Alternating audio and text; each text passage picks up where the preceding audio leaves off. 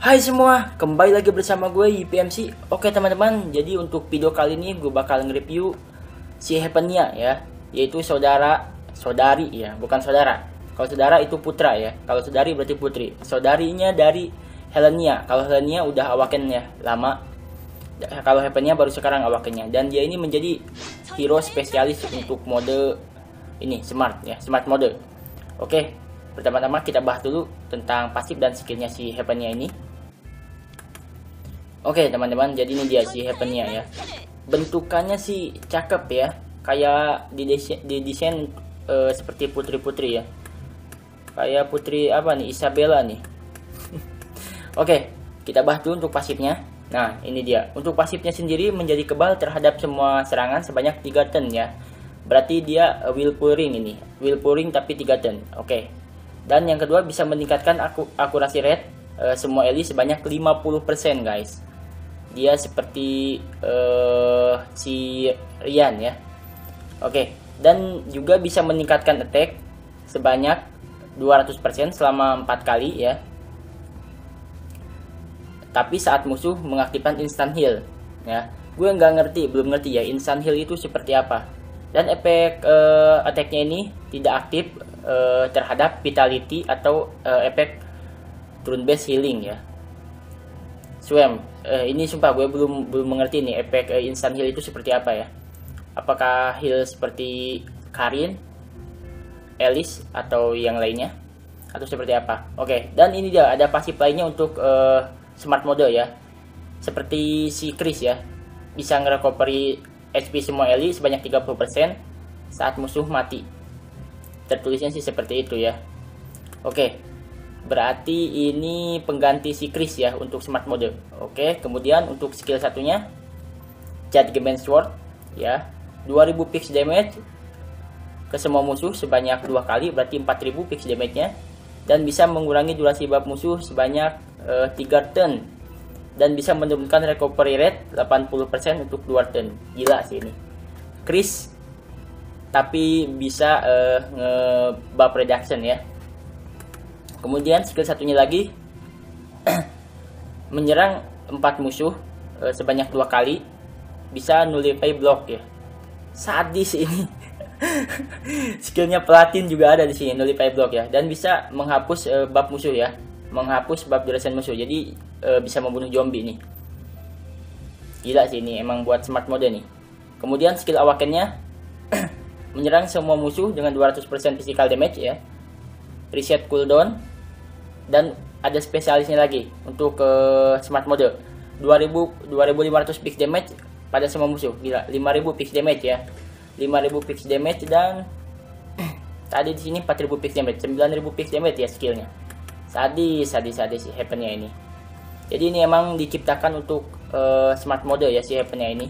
Memudahkan lah. Memudahkan smart mode untuk diselesaikan. Oke. Jadi kita bakal tes si happennya ini di Tartarus ya level 30 Oke kita pilih dulu stage-nya floor 30 nih Nah jadi di level 30 ini memang cocok banget ya untuk bawa si siapa namanya nih si Hapenia. Soalnya di sini ada ini dia nih. Ada bintang 5 Earth Element ya. Jadi bintang 5 Earth Element ini hanya bisa mati uh, dengan fix damage ya fix damage. HP nya cuma 7000 jadi gunain si skill Hapenia sama fix damage dari si Elin dia udah mati. Nih yang lainnya sih eh, nggak uh, begitu nggak begitu menyusahkan ya. Cuma platin BNB Kagura sama S yang paling sulit itu bunuh dulu si Earth 5 ini nih bintang 5 Earth elemen ini nih. Kalau dia udah mati yang lainnya gampang Oke, untuk sekuatnya sendiri di floor 30 ini Theo sebagai hitter ya menggunakan double lethal, double counter, jewelnya crit damage, lethal damage dan attack. Ini bisa diganti attacknya sama damage sama damage. Kemudian untuk aksesorisnya menggunakan critical damage. Nah, untuk special trade-nya di sini masih belum berubah. Special trade arena ya, karena ini mahal 20 topas, 20 topas, 20 topas.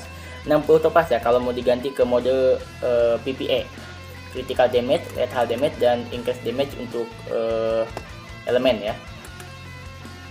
Oke, kemudian ada S di sini untuk DP reducer dan meningkatkan damage yang diterima oleh musuh. Kemudian Hapenia udah dan di sini ada Alicia untuk imun debat. Kalau mau YOLO, Alicia bisa diganti dengan Delons ya untuk meningkatkan damage atau Rachel. Oke, kemudian di sini untuk uh, Elin.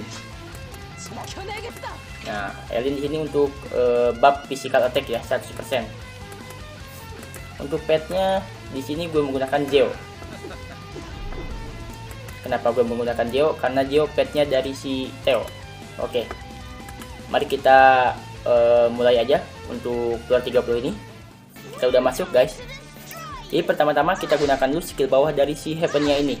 Skill bawahnya itu kan 2000 pick damage ya untuk dua kali. 4000 pick damage nya oke. Tinggal sisa dikit lagi nih. Kita bunuh kita bisa membunuhnya dengan skill atas uh, Elin ya pick damage. Atau dengan skill atas si Alicia juga bisa. Oke udah mati sekarang kita tinggal gunakan skill hitter kita ya. Di sini gue menggunakan si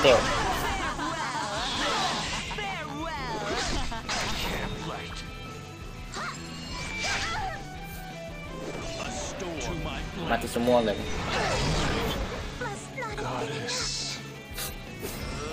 oke sisa si S aja. Karena S bisa hidup dengan satu HP ya satu kali. Kena counter juga mati nih oke. Cocok. Nah kita gunakan lagi skill bawah dari si Heavennya ini. Untuk ngebunuh art elemen yang bintang 5 ini. Sadis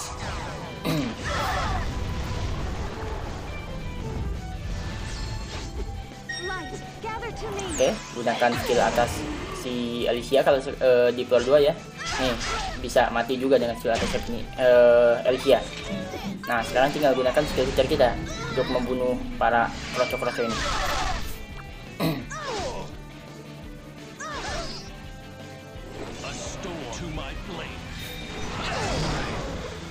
Jadi ini kalau keterangannya kan di pasifnya itu si Heavennya itu apa ngerecovery saat musuh mati ya. Tapi ini pas musuh mati si happennya ini nggak ngerecovery. Ngerecoverynya itu pas uh, giliran kita turun ya pas habis dan baru ngerecovery. Gue nggak tahu bug atau emang modelnya seperti itu ya. Oke kita bunuh dulu nih elemen. Set 3 skill bawah. Fix damage 4000 dan skill atas nih. Kita gunakan skill atas nih. Skill atasnya ini GG banget nih untuk smart mode ya. Bisa fix damage terus reset skill cooldown nih sadis keren-keren animasinya nih keren oke sudah mati. Nih. Pas musuh mati nih nggak nggak ngehil nih. Nggak ngehil kan sekuat sekuat kita. Tapi ngehilnya pas giliran kita turn.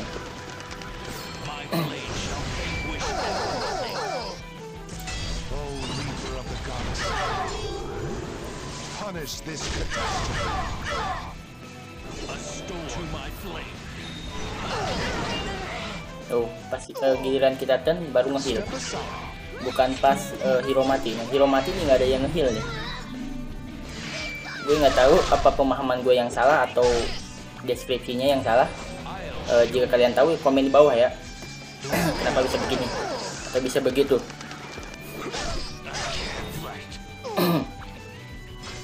jadi ini cuma ngetes aja ya ngetes si apa si happennya ya ternyata memang memudahkan kita untuk menyelesaikan smart mode ya. Jadi untuk kalian ya yang belum menyelesaikan smart mode kalian memang wajib build si happennya tapi tanpa si happennya juga bisa kelas sih. Cuman kalau mau lebih mudah memang wajib e, menggunakan si happennya ini. Jadi lebih enak lah lebih santai kita